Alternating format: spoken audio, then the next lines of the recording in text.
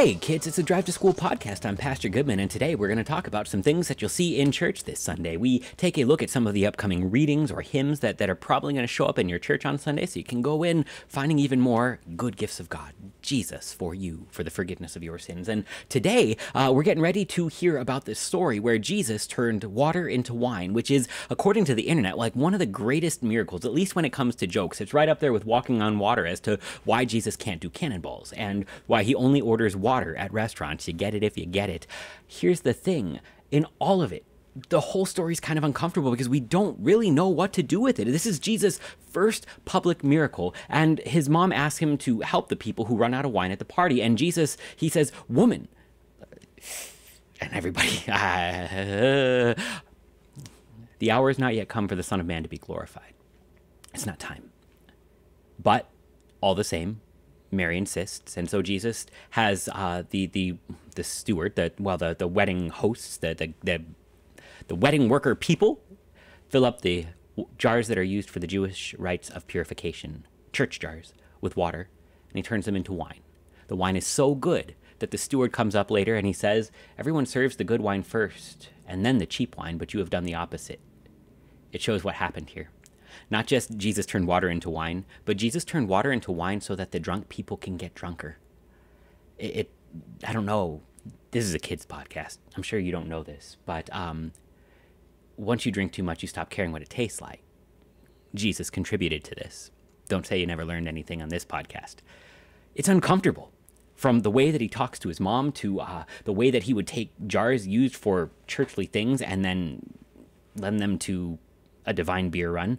Uh, in all of it, it's easier to make jokes than find the reason because most of us are actually a little bit more comfortable with the stone jars. They're very simple, they are inoffensive. You do the little washing ritual and then you can say, It's done. I can measure it. Look at me being better than I was before. And I think that's actually why we get this miracle.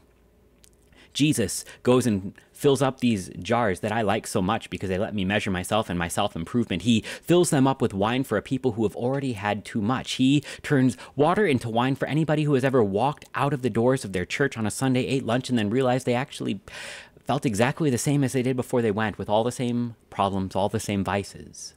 See, whatever happened in this miracle, we are told that it manifested God's glory, and the disciples believed in him. It is a great sign, which means it has to be more than just a divine beer run. Like, if you are God, that's not even that hard. The prophets have done better. Water into wine, it's good for jokes, but as a miracle, it's not nearly as impressive as Moses parting the Red Sea or like calling down the pillars of, of fire. There's a, hardly any explosives with this, but it manifests God's glory.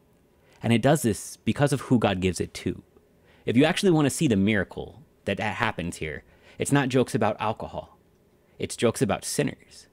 There is no reason at all to waste good wine on people who have had more than they can handle already. They don't appreciate it, they don't enjoy it for what it is, they, they waste it.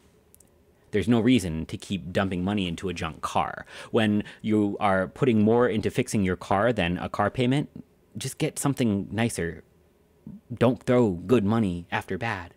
And so there is no reason for God to send good gifts after sinners. You don't really care. You don't really appreciate the forgiveness enough. You waste it. You abuse it. You can say otherwise, but here's the thing. Just after hearing, in the stead and by the command of my Lord and Savior Jesus Christ, I forgive you all your sins in the name of the Father, Son, and Holy Spirit, you go home and do the same stupid stuff all over again. I know because I do it too.